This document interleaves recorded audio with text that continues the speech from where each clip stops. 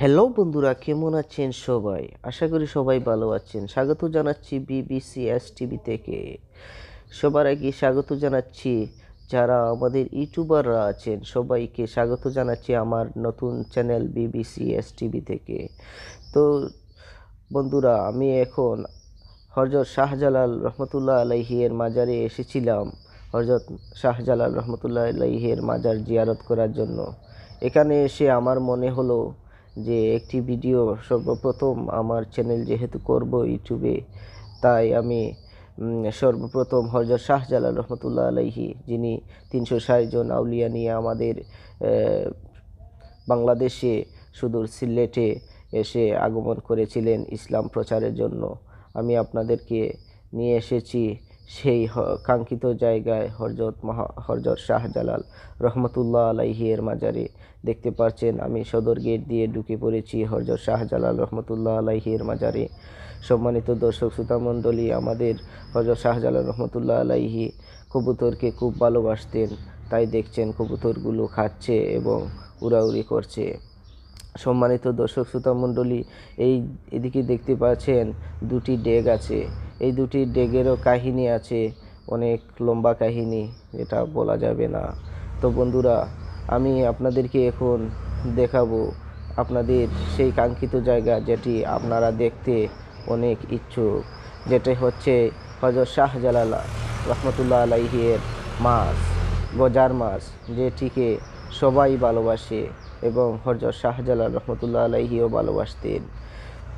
এই মাছের পুকুরের সামনে আমি এখন আছি। তো বন্ধুরা, চলুন আপনাদেরকে দেখাচ্ছি মাছগুলো। দেখতে পাচ্ছেন বন্ধুরা, আমি গজার মাছের পুকুরে কাছাকাছি এসে গেছি। বন্ধুরা, এই যে দেখতে পাচ্ছেন, অনেক বড় বড় মাছ। এগুলা হচ্ছে হজরত শাহজালাল রহমতুল্লাহ আলাইহির পালিত খুব প্রিয় মাছ। এগুলো হচ্ছে এগুলোর একটি কাহিনী আছে, এটা আপনারা আপনাদেরকে ইউটিউবে বলা যাবে না, বলতে পারছি না। অনেক সময়ের দরকার, এটিরও একটি কাহিনী আছে, আপনারা হয়তো পরে দেখতে পারেন শাহজালাল রহমতুল্লাহ আলাইহের ইতিহাস, জীবনী বই। তিনি এসেছিলেন সুদূর ইয়েমেন থেকে ইসলাম প্রচারের জন্য, সুদূর বাংলাদেশে। আপনারা দেখতে পাচ্ছেন এখন আমি এসে গেছি সেই সোনার কইমাগুর যেখানে বলে সোনার কইমাগুর বাসে মানুষের ভাগ্যে যদি থাকে সোনার কইমাগুর দেখে আমরা সেই জায়গাটুকুতে এখন অবস্থান করছি। দেখতে পাচ্ছেন সোনার কইমাগুরের আহ, খবরে সোনার কইমাগুরের পুকুরের কাছে আমি এসে গেছি। তো বন্ধুরা দেখতে পাচ্ছেন এই পুকুরটাই হচ্ছে সোনার কইমাগুরের আর এই যে গ্লাস দিয়ে বেষ্টন করা দেখতে পাচ্ছেন এটি হচ্ছে মেইন কূপ যেটি সুদূর বাংলাদেশে জমজম কূপের সাথে সংরক্ষিত আছে এটা সংযুক্ত আছে।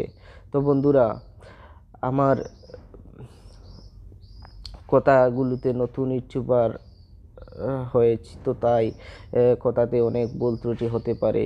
বন্ধুরা যদি ভুল হয়ে থাকে তাহলে অবশ্যই ক্ষমা দৃষ্টিতে দেখবেন। আর যদি আপনাদের